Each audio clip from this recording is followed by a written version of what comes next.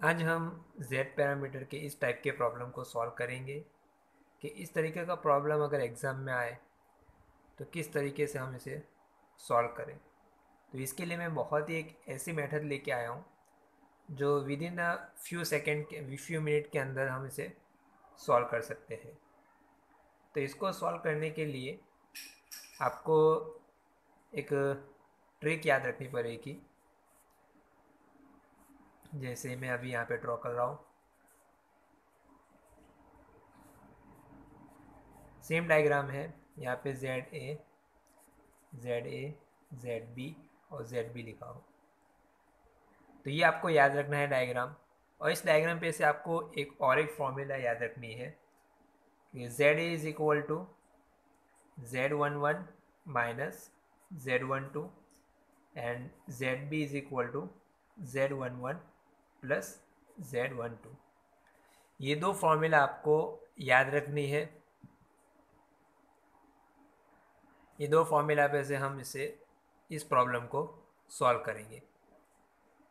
तो ये डायग्राम और ये डायग्राम को अगर कंपेयर किया जाए तो जेड ए की वैल्यू क्या होगी? फोर ओम और जेड बी की वैल्यू क्या होगी? Eight ohm. तो यहाँ पे हम लिख देंगे Z A equal to four ohm and Z B is equal to eight ohm. अब हम इसको सॉल्व करेंगे। तो फॉर्मूला क्या है हमारे पास? क्या ट्रिक है? Z is equal to Z one one minus Z one two and Z B is equal to Z one one plus Z one two. तो जेड ए की वैल्यू क्या है? फोर जेड वन वन हमको find करना है और Z one two भी find करना है। और जेड बी की वैल्यू है एट यहाँ पे वैल्यू सेम लिख देंगे। अब हम ये दोनों इक्वेशन को इक्वेट करेंगे। तो जब इक्वेट करेंगे तो ये दोनों कैंसिल हो जाएगा। और ये दोनों ऐड हो जाएँगे। तो ये कितना हो जाएगा? Four plus eight is equal to twelve and Z one one plus Z one one which is equal to two Z one one so Z one one की वैल्यू क्या होगी? Twelve by two which is equal to six ohm तो हमें answer मिल गया Z one one is equal to six ohm Z one one की value दोनों में से किसी भी एक वैल्यू के अंदर पुट करेंगे। तो हम यहाँ पे पुट कर देते हैं। Eight is equal to six plus Z one two तो ये हो जाएगा eight minus six which is equal to two ohm तो जेड वन वन की और जेड टू टू की वैल्यू हमने पुट कर दी तो हमारा आंसर आ जाएगा टू ओम तो हमारा आंसर क्या होगा? Z one one is equal to Z two two is equal to six ohm ये दोनों सेम रहेंगे जेड वन वन और जेड टू टू की वैल्यू सेम रहेगी। और Z one two is equal to Z two one is equal to two ohm तो इस तरीके से इस टाइप के प्रॉब्लम को हम इस ट्री ट्रिकी मेथड से हम सॉल्व करेंगे।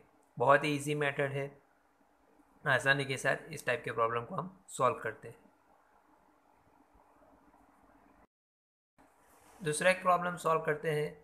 इसमें डायग्राम है Z A Z A Z B Z B Z A की वैल्यू है J two ohm Z B की वैल्यू है टू ओम तो उसी मेथड से हम सॉल्व करेंगे। तो यहाँ, पहले क्या था, यहाँ पे जेड ए था तो यहाँ पे जेड बी है। तो यहाँ पे हम लिखेंगे Z B is equal to Z one one minus Z one two और जेड ए की वैल्यू होगी Z A is equal to Z one one plus Z one two तो दोनों इक्वेशन को हम इक्वेट करते हैं।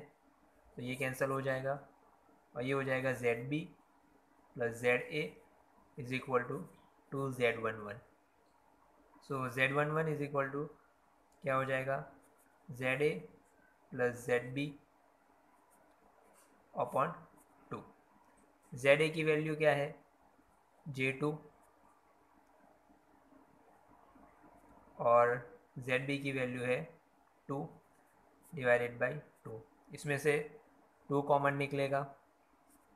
Two one plus J divided by two so Z one one की वैल्यू क्या होगी? वन प्लस जे अब ये वैल्यू हम यहाँ पे पुट करेंगे और चेक करेंगे कि जेड वन की वैल्यू क्या आएगी। तो Z B is equal to Z one one minus Z one two तो जेड बी की वैल्यू हमारे पास क्या है? टू ओम है।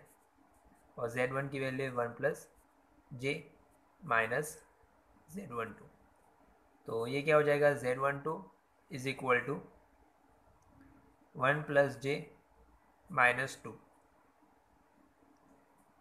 तो जेड वन टू की वैल्यू आ जाएगी minus one plus J means ये जो इस तरह की डायग्राम है, वो सिमेट्री भी और रेसिप्रोसिटी भी है। तो ये दोनों जैसे आंसर मिल जाते हैं तो यहाँ पे सिंपली ऐसा लिख देना है Z one one is equal to Z two two is equal to one plus J and Z one two is equal to Z two one is equal to minus one plus J तो इस तरीके का problem को हम इस तरीके से solve करेंगे। सिर्फ़ आपको ये फॉर्मूला याद रखना है। और एक प्रॉब्लम सॉल्व कर लेते हैं। फॉर्मूला है हमारे पास। Z A is equal to Z one one minus Z one two and Z B is equal to Z one one plus Z one two तो ये जेड ए की वैल्यू है। मान लेते हैं यहाँ पे जेड ए की वैल्यू है वन ओम और जेड बी की वैल्यू है फाइव ओम तो यहाँ पे हम लिखेंगे one is equal to Z one one minus Z one two Z B is equal to five is equal to Z one one plus Z one two दोनों को equate करेंगे, ये कैंसिल हो जाएगा। तो ये जाएगा six is equal to two z one one so z one one is equal to three ओम और यही वैल्यू जेड टू टू की रहेगी थ्री ओम और ये वैल्यू को हम किसी भी किसी में, किसी इक्वेशन में पुट कर देते हैं तो यहाँ पे पुट कर देंगे five is equal to z one one की वैल्यू है three plus z one two